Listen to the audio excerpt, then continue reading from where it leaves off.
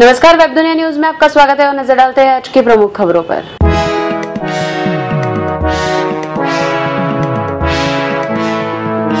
लद्दाख में 30 मीटर का दूरबीन लगाना चाहता है भारत।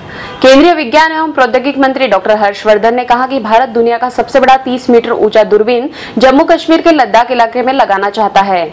इसे खगोलीय अनुसंधान की दिशा में महत्वपूर्ण कदम माना जा रहा है। इस परियोजना में भारत, अमेरिका, कनाडा, जापान और चीन साझेदार है। पहले इसे अमेरिका के हवाई प्रांत में लगाया जाना था, लेकिन वैधानिक अड़चनों के कारण अक्टूबर 2014 में ये काम रोकना पड़ा।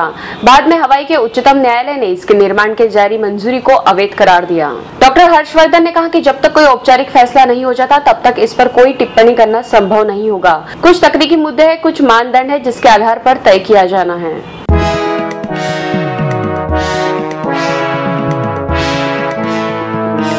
मोदी सरकार के दो साल राजपथ पर विशाल समारोह को होस्ट करेंगे अमिताभ बच्चन।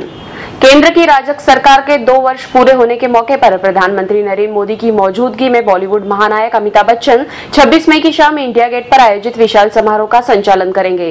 सूत्रों के मुताबिक प्रधानमंत्री ने सूचना एवं प्रसारण राज्य मंत्री के साथ एक बैठक के समारोह के संबंध में विस्तृत चर्चा की। समारोह शाम पाँच बजे शुरू होगा और लगातार पाँच घंटे चलेगा। समारोह में लघु वृत्त चित्रों के ज़रिए मोदी सरकार की उपलब्धियों पर प्रकाश डाला जाएगा। कार्यक्रम में सरकार के थीम सॉन्ग, मेरा देश बढ़ रहा है, का मंचन किया जाएगा। समारोह के दौरान अनुपम खेर और प्रसून जोशी सहित बहुत से बॉलीवुड कलाकार भी आकर्षण का केंद्र रहेंगे।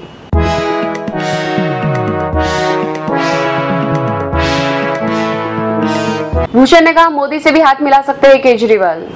दिल्ली के मुख्यमंत्री अरविंद केजरीवाल को सिद्धांतहीन बताते हुए उनके मित्र से विरोधी बने प्रशांत भूषण ने दावा किया है कि निजी लाभ के लिए वे प्रधानमंत्री नरेंद्र मोदी से भी हाथ मिला सकते हैं। भूषण ने कहा कि जिस दिन उन्हें सहूलियत होगी, वह मोदी से हाथ मिला लेंगे। मुझे इस संबंध में कोई संदेह नहीं। उल्लेखनीय है कि दिल्ली सरकार और केंद्र सरकार कई मुद्दों को लेकर आमने सामने रहे हैं। आप छोटे के बाद भूषण ने योगेंद्र यादव के साथ स्वराज अभियान की स्थापना की है।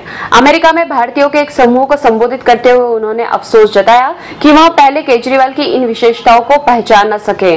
उन्होंने कहा कि अरविंद में मनमोहन सिंह सिंड्रोम है। उन्होंने कभी खुद पैसे नहीं लिए, लेकिन अपने आसपास के लोगों को पैसे लेने दिए।